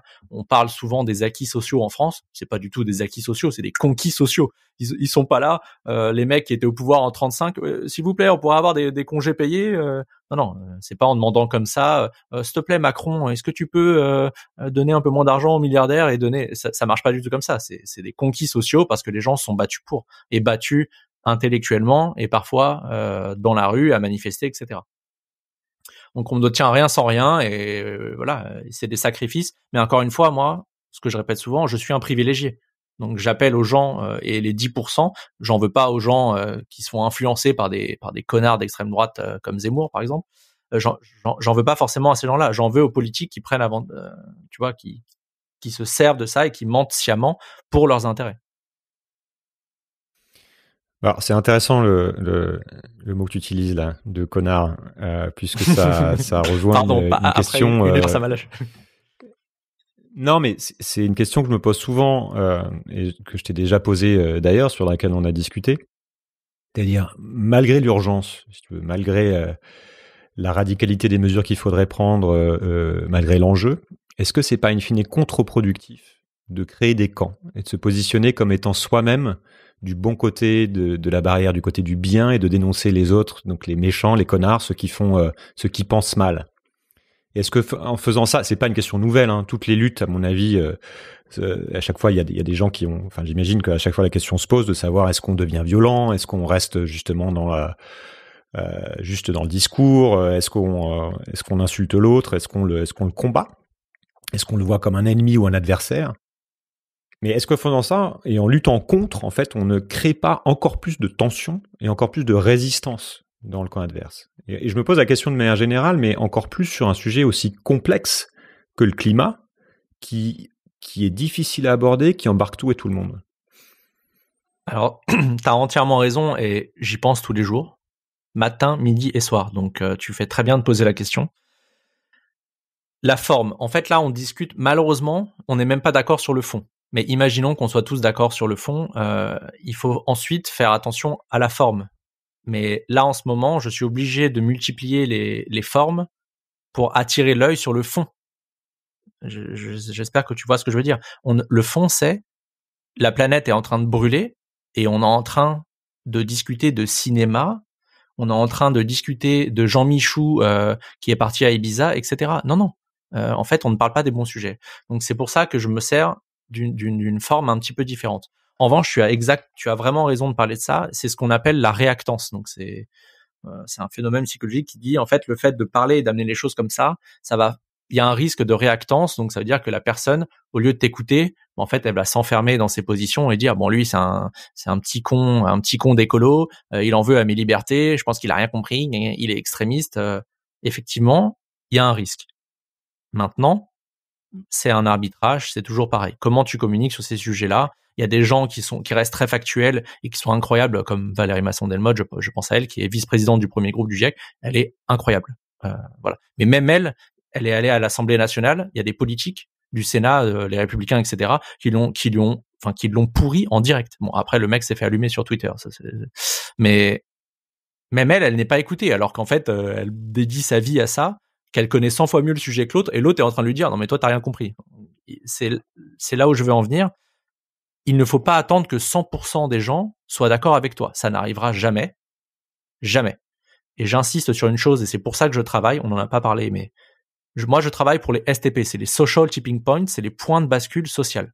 Donc ça veut dire qu'il y a une partie de la population, c'est hétérogène, donc c'est 1%, 3%, 10%, ça dépend des pays et des situations, qui s'emparent d'un sujet, qui le pousse, et ensuite ce sujet est récupéré par les personnes qui sont au pouvoir, et, et elles ne peuvent plus faire sans. Et c'est mon but en fait, c'est que l'écologie et les enjeux écologiques deviennent tellement importants et tellement un sujet, c'est pas tellement important, ils sont importants, mais tellement un sujet pour une partie de la population que les politiques ne puissent plus faire sans. Et aujourd'hui, moi je suis tous les politiques en France là. Euh, à gauche, on en parle un petit peu. À droite, ça parle d'écologie punitive et de croissance verte. Bon, Zemmour, bon, euh, voilà. Euh, et Macron, c'est écologie de production. Donc en fait, euh, bon, il y en a, y en a pas un qui a un programme aligné sur sur ce qu'on devrait faire. En revanche, si on a, allez, euh, je sais pas, euh, 10%, 15%, 20% de la population qui a déjà, qui a lu, qui a été éduqué à ces enjeux-là, etc., ce sera à mon avis suffisant pour qu'il n'y ait plus aucun politique qui te dit, euh, qui dise non non mais il n'y a pas de réchauffement climatique ou ça concerne que les autres, c'est pas nous. Et c'est mon but. Très clair, merci. Je continue un peu là-dessus. Parce que c'est un, sujet important, euh, puisque c'est politique aussi, comme tu l'as dit. C'est-à-dire que si on n'arrive pas à, convaincre de quelque chose, finalement, il n'y y a rien qui se fait derrière. Donc, euh, rien qui ne change. on sait que le problème est, est mondial aussi. Hein, donc là, on n'a même pas parlé du fait que même si tu tu prenais tu devenais le président de la République demain en France, c'est pas ça non plus qui change le public. C'est aussi un autre frein. Tu vois, c'est une autre excuse. C'est de dire finalement c'est pas chez nous que ça joue, euh, chez les Chinois, il y en a d'autres qui vont dire ah bah les gens ont faire moins d'enfants, etc. Euh, je voudrais rester juste sur la communication. Là, on est à l'ère de ce qu'on appelle la post-vérité. Donc on a euh, Trump. Là, j'ai mis un, un, post Instagram l'autre jour là-dessus. Je me suis amusé parce que j'ai fait un épisode autour de, cette thématique là de, du langage. Trump, euh, d'après le Washington Post, là, aurait menti ou, asséné des, des, des contre-vérités plus de 30 000 fois durant les 4 ans de sa présidence. Je crois que ça fait autour de, de, de 200 par jour, un truc comme ça. Ou au moins 20 par jour. J'ai plus, plus le chiffre en tête, je dis bêtises. Mais, tu vois, euh, on, va, on va vite aussi à dire, à dire n'importe quoi. Euh, la moitié des Américains pensent toujours que Trump s'est fait voler l'élection. Et sa popularité chez les républicains reste autour de 85%. Je prends Trump parce que c'est l'épouvantail, quoi. C'est vraiment l'extrême. Donc les faits n'ont plus d'importance en fait. La, plupart des gens ne savent plus à qui faire confiance. Et on le voit aussi avec, euh, le Covid en France, où euh, chacun choisit son tiers de confiance en fait. Et, euh, et, les dirigeants euh, et le, les médias en fait ont entamé cette confiance. Donc euh, quelque part aussi, on a, on, a, on a raison de se méfier. Mais à quoi ça sert dans ce contexte-là en fait de continuer à vouloir promouvoir les faits, la science, tant qu'on n'a pas résolu en fait ce problème de fond qui est que bah, en fait les gens croient ce qu'ils veulent croire. Alors pour répondre rapidement, on ne commence pas un, combat ou une bataille parce qu'on est sûr de la gagner, mais on le fait parce qu'elle est juste. Donc moi, mon combat là tous les jours, euh, je le fais parce que c'est ce que j'estime être juste. Euh, si j'étais sûr de pouvoir euh, de, de me dire qu'à la fin on aurait calmé le réchauffement climatique et qu'on vivrait dans une société où on arrête de parler d'immigration matin et midi soir à la télé parce qu'en fait dans notre quotidien on n'en parle pas bah je serais enfin voilà ce, serait beaucoup plus facile. Mais dans l'histoire il y a plein de gens qui ont qui sont lancés dans des batailles qui n'ont pas gagné à la fin euh, mais ils le faisaient parce que c'était juste. Donc ça c'est la première des choses.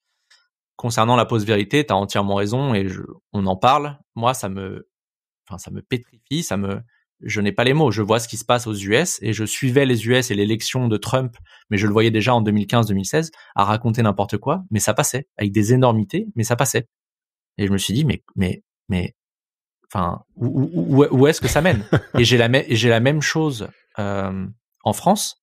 Désolé de reprendre l'exemple de Zemmour, mais après c'est factuel. Euh, tout le monde dit oui, mais il est quand même cultivé. T'as vu, il connaît bien l'histoire, mais pas du tout. Il raconte plein de bêtises en histoire. T'as des historiens sur Twitter qui sont là. Bah non, ça c'est faux, ça c'est faux, ça c'est faux. Il y a un livre qui sort dans un mois pour dire euh, Zemmour joue avec l'histoire. Enfin, le mec il raconte n'importe quoi. En économie, il raconte n'importe quoi. Sur le climat, il a quand même parlé de, de grand réchauffement. Donc c'est te dire si le mec, euh, il est vraiment, il voit de l'émi, voilà, il voit de l'immigration. Il pense que le CO2 il immigre en fait. Bref. C'est compliqué, euh, Julien. Moi, moi, enfin là tout de suite, euh, je suis plus inquiet par ça que, le, que, le, changement climatique. Je vois des mensonges tous les jours à la télé. Enfin, typiquement notre président l'année dernière avec le Covid, avec son, son l'application anti-Covid, euh, il a dit non, non, ce n'est pas, c'est pas que c'est c'est pas que c'est un échec, mais c'est que ça n'a pas marché. Mais normalement, c'est fou rire général. Et toi, bon, tu dégages en fait. On veut plus te parler, Emmanuel Macron. C'est n'importe quoi de dire de raconter ça.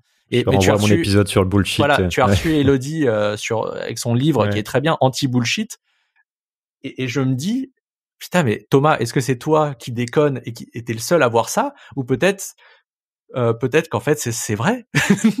mais j'étais en plein 1984 euh, qu'on qu'on adore euh, qu'on ouais. adore sortir, mais moi ça me pétrifie, je te dis. Et j'ai vécu là sur les, réseaux, sur les réseaux sociaux, il y a des gens qui ont menti à mon encontre, qui m'ont fait dire des choses que je n'avais jamais écrites ni dit. Et même si tu apportes bah, les faits derrière, tu dis mmh. bah, non, vous avez menti, c'est pas faux. Mais en fait, c'est trop tard. Mmh. Et c'est difficile, c'est mais c'est difficile au quotidien. Après, euh, moi, je, me bats et c'est ma ligne de conduite. Chacun sa morale. Hein. Il y, a, a 8 milliards d'éthiques différentes et de morales différentes. Euh, bon, écoute, hein, moi j'essaye entre parenthèses de, euh, faire ma part. Mais c'est très, intéressant ce que tu dis. Je pense qu'on peut, aller sur, ce terrain-là là, pour la dernière partie de l'épisode, sur la démarche, en fait, ce que c'est qu'être un activiste. Et ce que c'est que se, se, décider, en fait, de choisir une cause et de se battre pour cette cause. J'aime bien ce que tu dis. Enfin, ça m'éclaire, en tout cas. Je comprends d'où tu parles. C'est-à-dire que tu fais ça pour toi. Tu fais ça pour être aligné avec tes convictions. Tu fais ça parce que tu l'as évoqué en début d'interview, parce que tu, tu trouves ça intéressant parce que ça t'apporte du, du, de la joie, du plaisir, plaisir intellectuel, plaisir dans les rencontres, dans le plaisir de toucher des gens aussi. Où est-ce que tu en es en fait? Est-ce que tu, est-ce que comment tu vis ça? Est-ce que tu doutes de euh, de ton propre diagnostic d'abord, de ton propre, euh, de ta posture, de ton combat?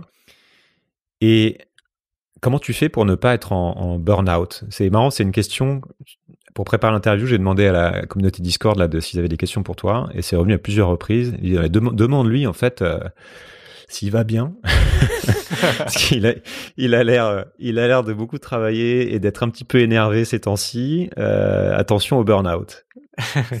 comment, comment tu, voilà, comment tu vis tout ça? Euh, Alors, je vais bien. en fait, je suis peut-être une personne un peu atypique. Je fais jamais les choses à moitié. Euh, dans ma vie, dans le passé, j'ai fait d'autres euh, activités où on me disait, pardon, je, sors de Covid, donc je tousse un peu, ce sera pas possible, etc. Et en fait, moi, j'adore le challenge. Et même si j'ai l'air d'être un peu sec euh, sur les réseaux, enfin surtout quand t'as des, t'as des un mec, un mec climato-sceptique qui vient m'expliquer la vie en commentaire, bon, lui, en fait, j'ai envie de le rembarrer, tu vois. Mais bon, ça va. Euh, je suis quand même un privilège. J'ai quitté mon boulot, mais j'arrive aujourd'hui à vivre de mon pote euh, je vais bien. J'arrive à me marrer, à voir mes amis, etc. Euh, j'ai, voilà, juste pour rassurer. Euh, mais j'ai toujours été comme ça, un peu dans la pas la démesure, mais l'excès. Et je fais l'excès. Dès que j'aime un truc, je le fais à 100%, 100, 100 ou 110%. Euh, et c'est passionnant en fait. Là, moi, le, le, climat touche tellement de choses, de, de la psychologie, la, la géopolitique. Et je suis comme ça depuis que je suis tout petit. Je lis tout le temps, je dors peu, euh, et effectivement, je suis parfois à la limite là pour ma santé. Euh, c'est, pas un secret. Quand je travaillais en même temps et que j'écrivais le soir pour Bon Pote, ma santé euh, partait euh, un peu en sucette. Et c'est aussi pour ça que j'ai, arrêté. Parce que Bon Pote commençait à marcher, je me suis dit, allez, on essaye, même si je gagne rien, on essaye et on voit ce que ça donne. En tout cas, ça me paraissait être un, impératif catégorique. Ça me paraissait être un impératif pour moi. Mais Bon, après, comment comment tu arrives à tenir euh, Bon, maintenant c'est mon métier, c'est une chance. Et comment j'arrive à tenir? Parce qu'on me pose souvent cette question comment vous restez motivé? Il y a des hauts et des bas, évidemment, mais les bas durent très peu de temps. Euh, j'ai plein de sources de, plaisir, euh, que ce soit avec mes amis, ma famille, mmh. Euh, même lire un livre, bah, tu sais que ça m'arrive de prendre du, plaisir quand je lis un livre et je me dis putain j'avais pas vu les choses comme ça, c'est hyper intéressant. Et est-ce que je doute putain, En fait c'est là-dessus, pardon, j'aurais dû répondre à ça. Est-ce que je doute tous les jours? Et je me lève, je doute. euh, je doute sur plein de sujets. Et ce qui me permet aussi de de grandir intellectuellement, c'est d'écouter les critiques. Je suis, j'écoute vraiment les critiques. J'écoute les entre parenthèses adversaires euh, les Elon Musk ou le bullshit de l'autre côté, je l'écoute pour me dire, en fait, il a peut-être raison, ou justement de dire, bon, en fait, il est en train d'arnaquer tout le monde, comment je fais pour retourner ça? Voilà. Mais douter, c'est nécessaire sur tous les sujets. même sur le réchauffement, je vais te dire, même sur le réchauffement climatique, je doute.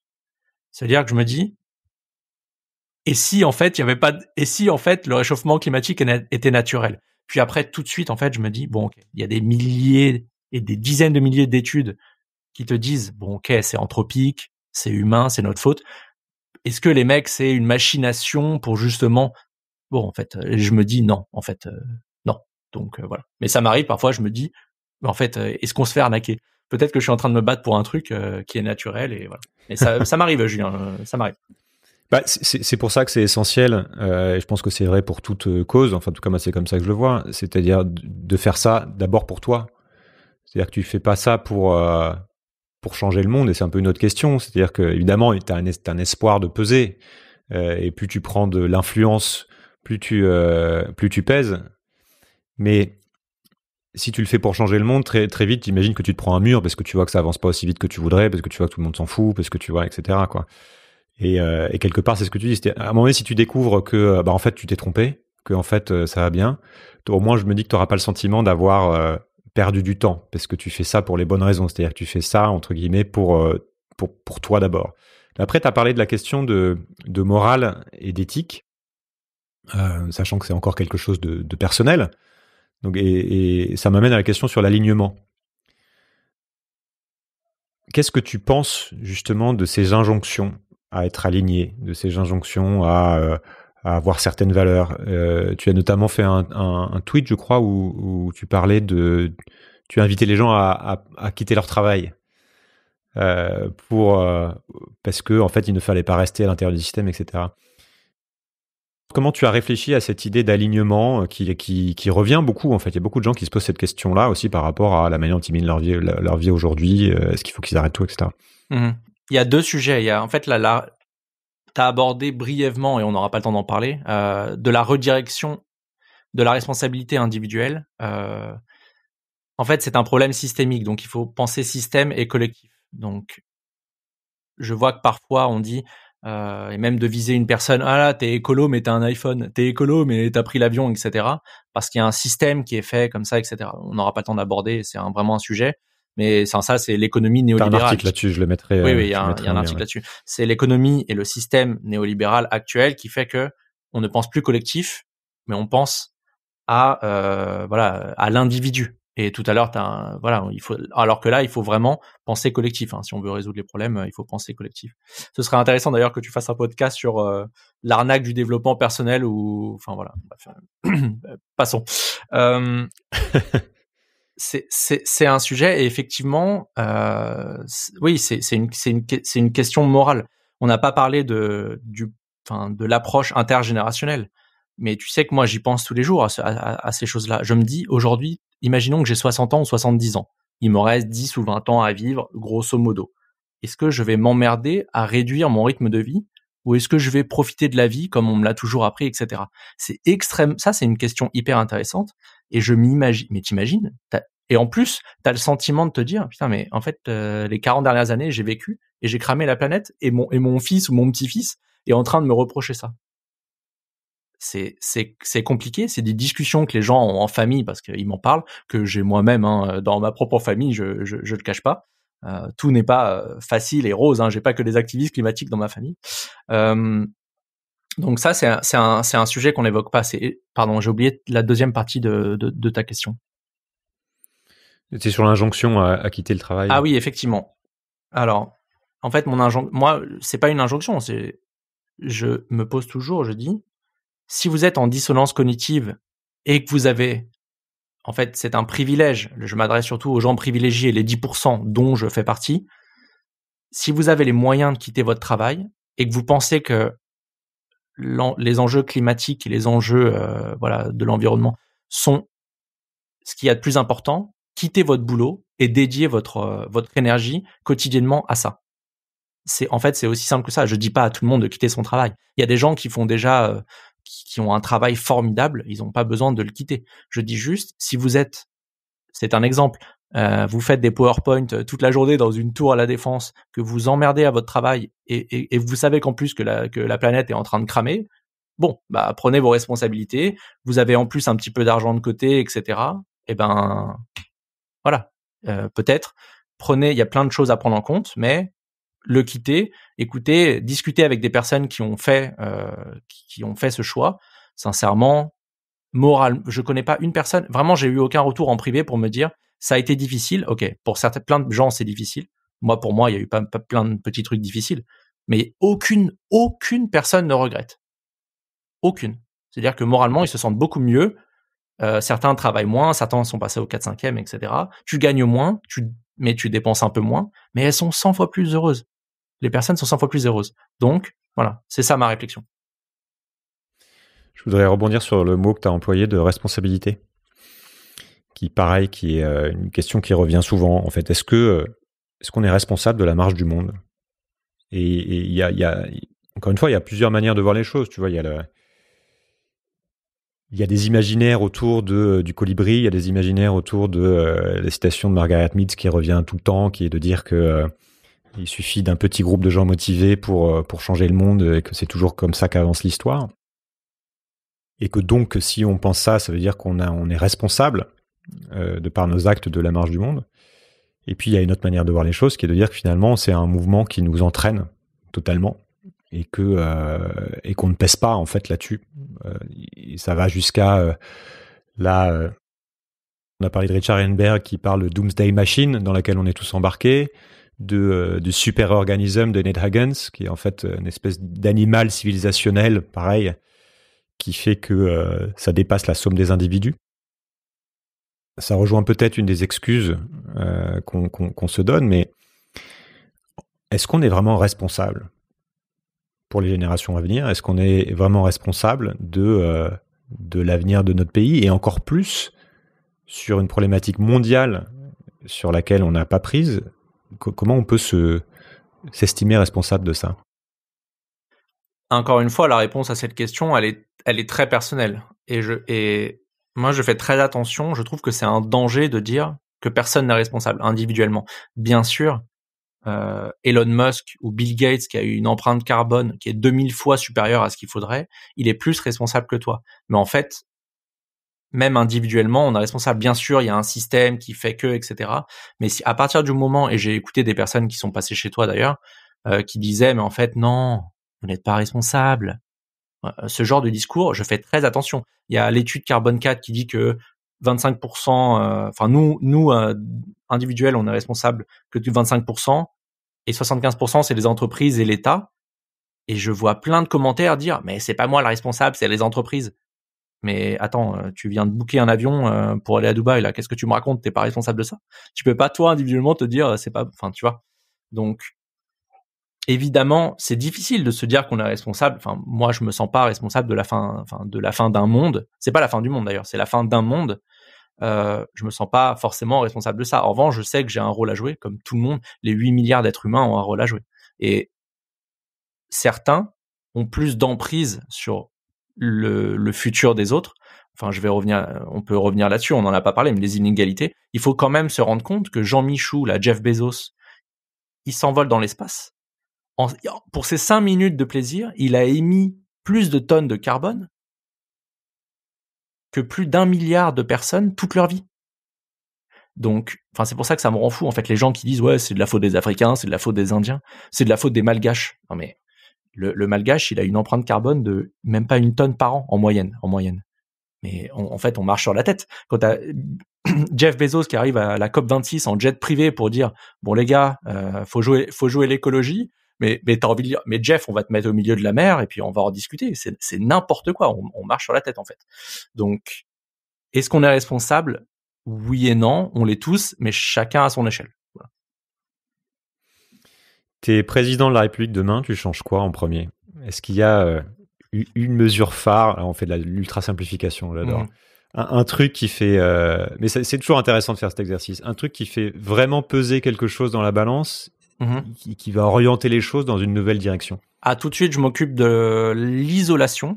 Euh, il y a encore des passoires thermiques en France et c'est un scandale parce que c'est un sujet qui est pas traité ou pas adressé correctement. Je finance ça tout de suite et à hauteur des moyens, donc fonction des gens et de leurs revenus, etc. Mais on devrait s'en occuper. Il devrait plus y avoir une seule passoire thermique en France, peu importe le coût que ça a.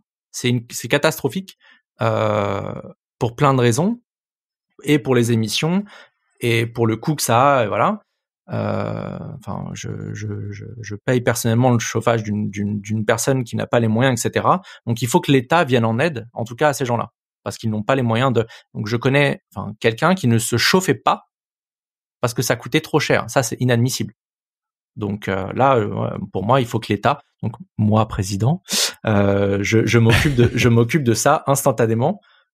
Voilà, les passoires thermiques en premier.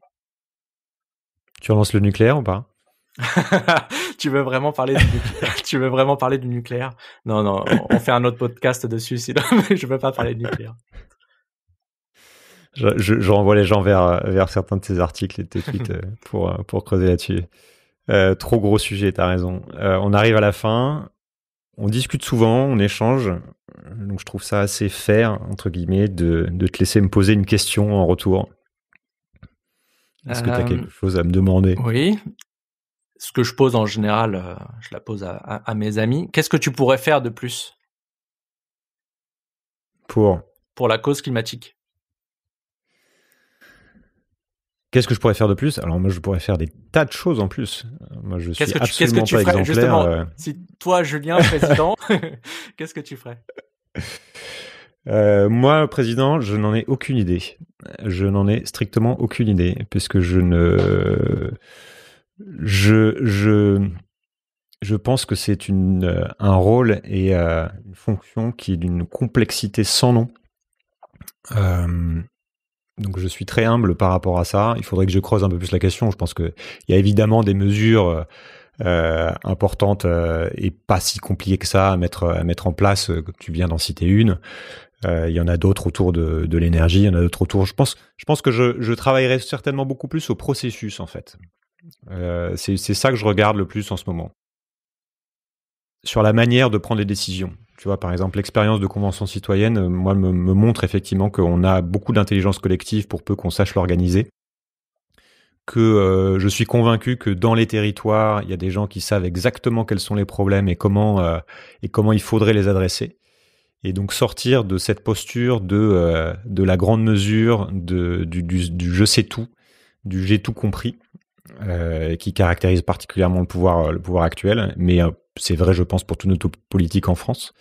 Et donc fondamentalement changer la manière de, euh, de regarder les problèmes, de gouverner, euh, le, le nombre de gens impliqués, qui on recrute, etc. Puisqu'en en, en fait, j'ai remarqué que euh, au-delà de la bonne idée et de la bonne mesure, c'était souvent ça qui qui faisait la différence, y compris dans les processus en entreprise. Tu vois, quand on remet de euh, une approche un peu plus design aussi, où on commence à expérimenter les choses, à les tester avant de les implémenter partout, où on va écouter à la base les, les problématiques en fait des gens qui font les choses concrètement et qui s'y frottent. Et ça, c'est quelque chose qu'on fait extrêmement mal.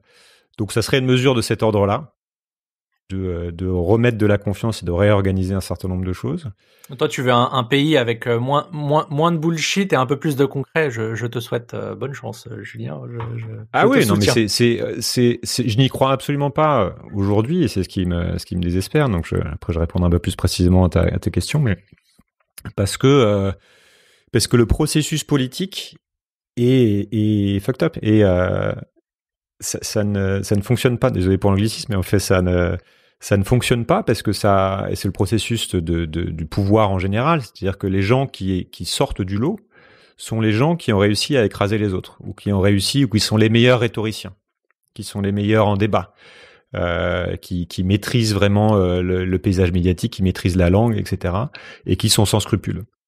Je crois que c'était Cynthia Fleury que j'avais entendu dire ça. En fait, quand on entre en politique, on entre souvent pour le bien commun, on entre pour faire les belles choses. Et en fait, comme le système et le processus est malade, soit on devient soi-même malade, soit on en sort pour, pour se préserver.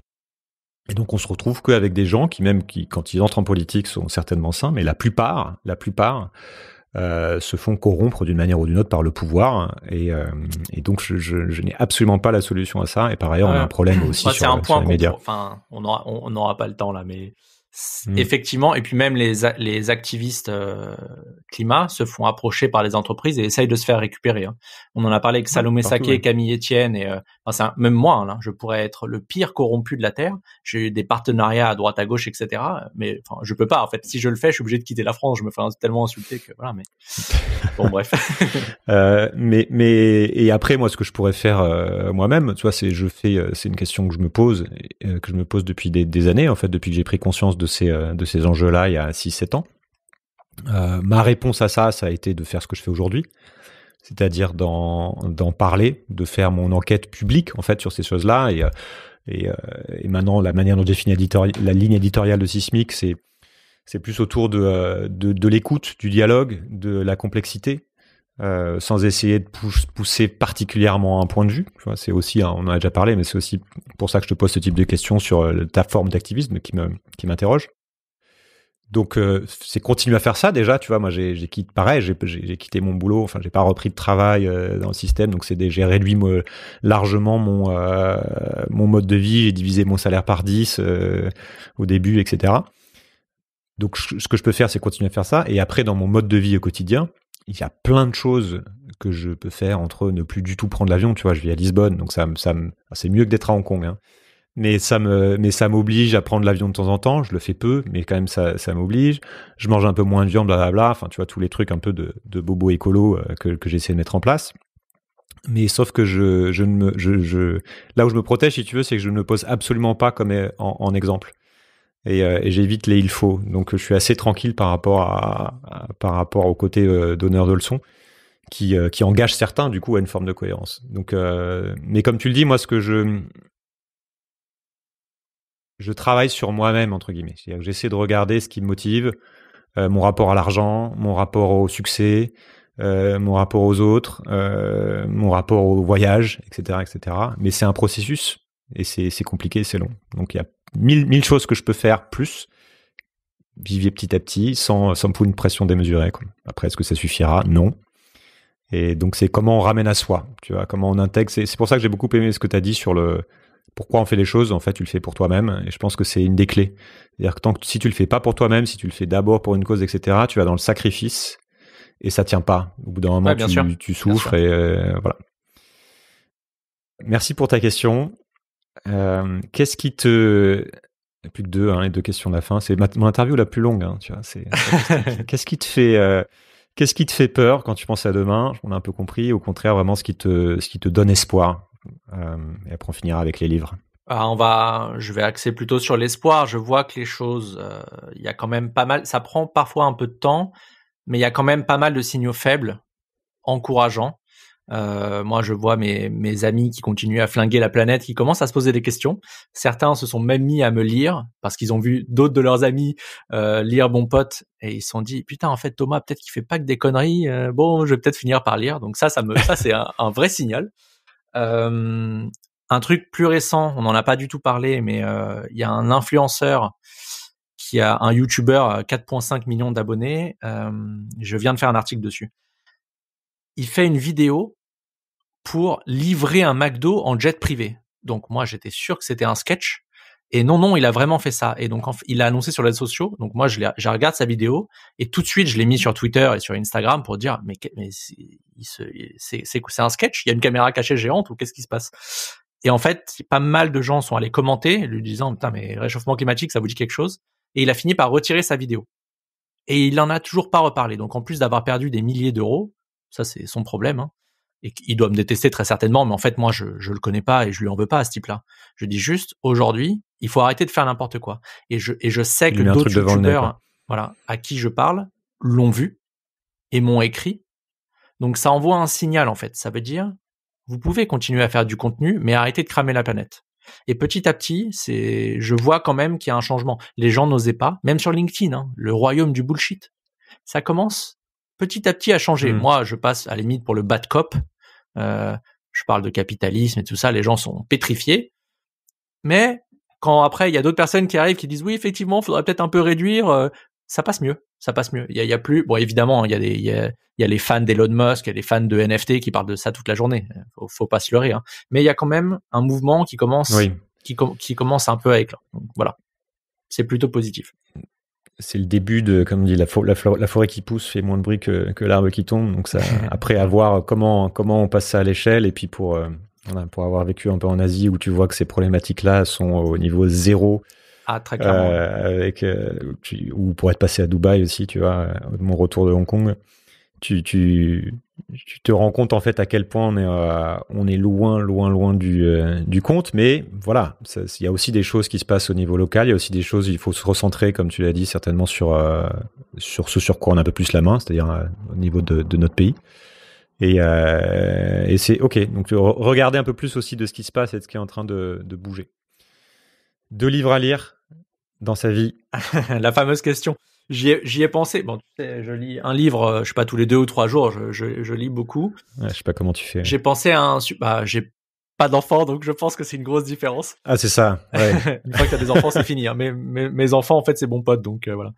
Euh, le premier, peut-être Le Monde d'hier de Stéphane euh, Schwag. Schwag. Donc, des, je, parle, je parle pas allemand, même si je m'appelle Thomas Wagner, désolé mais qui est un livre euh, que j'ai déjà relu, que j'ai relu cet été, qui est enfin formidable en plus d'être bien écrit. Euh, ça rappelle un peu la société et la, et la montée à l'époque du nazisme. Il faut savoir que le, le, le Stéphane là, euh, c'est un mec qui a vu le nazisme monter et qui a qui est parti vivre euh, aux États-Unis, qui a fini sa vie euh, au Brésil, j'ai bonne mémoire, et qui s'est, hmm. enfin, qui s'est suicidé parce que voilà. Et on ne sait pas. Alors j'aimerais bien, s'il y a jamais il y a des historiens qui écoutent, qui confirment qu'en fait, il se sentait impuissant face à la montée du nazisme. Aucun parallèle absolument avec ce qui se passe en France, évidemment, mais ce livre est formidable, donc vraiment il faut le lire. Euh, il y, a une partie, une introduction intéressante que je pensais remettre justement sur les réseaux sociaux où il, montre, où il explique en fait ce que sa génération a traversé euh, et à quel point le monde a été complètement retourné sur la durée de sa vie, donc en, en 50 ans. Et ça permet aussi de prendre du recul par rapport à ce qu'on est en train de vivre. Euh. Bien sûr, et c'est des en fait il parle non mais le livre est formidable, page 77, je sais plus, ça m'a tellement choqué. Il parle d'une génération qui a connu la guerre, etc. Et en fait, euh, il parle de la génération d'après qui n'a pas connu la guerre, qui vit plus. En fait, mmh, nous on est des générations de privilégiés, on n'a jamais connu la guerre. À part des fous qui viennent nous tirer dessus un vendredi 13, euh, on n'est pas. C'est bien de se le rappeler, quoi. Voilà, donc voilà, il faut le rappeler. Mais en revanche, là, ce qui nous a, bon, on parle pas de l'extrême droite maintenant. Passons. Oui. Un autre livre, euh, plutôt coulé en beauté que flotter sans grâce, que je pense j'ai offert à plein de personnes, de Corinne Morel-Darleux. C'est 90 pages, mais c'est de la poésie, c'est incroyablement bien écrit, et c'est un livre qui, je pense, a participé au fait que je quitte mon travail. je sais pas si je l'ai dit publiquement, mais euh, et qui parle du refus de parvenir, du fameux refus de parvenir, c'est-à-dire euh, vivre et réussir sans écraser les autres. Donc tu peux avoir de l'ambition, mais sans écraser les autres. C'est vraiment la chose qui, qui, enfin, qui j'espère me, me, me, décrit, ce que j'ai en, tête tous les jours. Euh, et c'est vraiment un livre magnifique. Et je vais tricher. Un troisième livre qui, je pense, dans les, la dernière année m'a pas mal marqué, de Denis Colombi, Où va l'argent des pauvres? Euh, qui permet un peu de déconstruire plein d'idées reçues. Euh, typiquement, bah, pourquoi les gens à la sortie euh, du confinement en mai 2020 aller faire la 1h30 de queue chez Zara. Moi, ça me paraît inconcevable. Déjà faire 5 minutes de queue pour aller faire du shopping, mais moi, j'ai envie de me, me, couper le bras, tu vois. Mais il y a des gens qui le faisaient. Donc pourquoi? Pourquoi il y a des gens qui, le premier jour des soldes, sont prêts à se battre pour un dépôt Nutella, etc. Mais en fait, ça te permet de prendre du recul et de, de voir, d'avoir un aspect, euh, voilà, la sociologie t'explique ça. Et ça m'a mis euh, vraiment quelques petites claques et je pense pour juste pour les gens privilégiés, c'est vraiment génial comme livre. Donc voilà, il faut le lire. Merci mon pote, merci Thomas. Merci d'avoir euh, d'avoir joué le jeu, de m'avoir accordé autant de temps. Et euh, je pense que ça sera utile à, pas mal de gens pour euh, comprendre un peu les, les, les grands enjeux. J'ai beaucoup parlé climat, mais c'est bien, c'est tout. Je continuerai d'en parler, pas que, mais et c'est intéressant d'avoir d'avoir ton point de vue d'activiste et de et de blogueur là-dessus. Merci. Merci Julien. Voilà, c'était donc une conversation euh, un peu plus longue que d'habitude, mais j'espère que vous l'aurez trouvée intéressante avec, euh, Thomas, Thomas Wagner, bon pote donc. Pour aller plus loin, je vous invite à lire son blog, qui est une euh, base de données extrêmement riche et facile d'accès sur la question climatique et tout ce que ça recouvre, c'est-à-dire énormément de choses.